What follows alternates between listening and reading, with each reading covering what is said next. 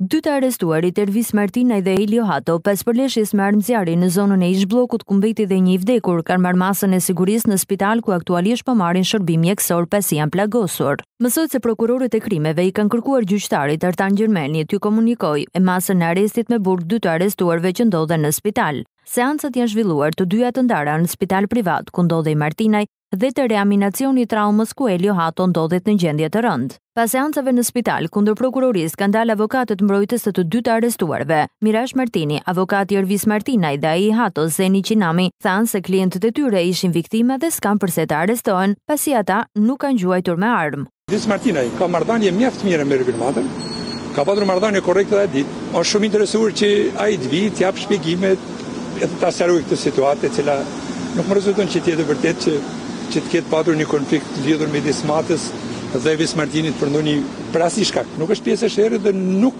din shkakun e këtij sherri midis Gaxhajt dhe personit i cili ka qëlluar me armë. Kërkova gjykatës që të vlerësohet arrestimi i paligjshëm dhe së dyti të mos caktohet asnjë masë sigurimi pasi ai është një viktimë e atij qasi të ngelur. Nuk ka asnjë lidhje. Ai është në gjendje spitalore të rëndë, aty s'ka as shej gishtash, nuk ka as gjurmë të qitjes.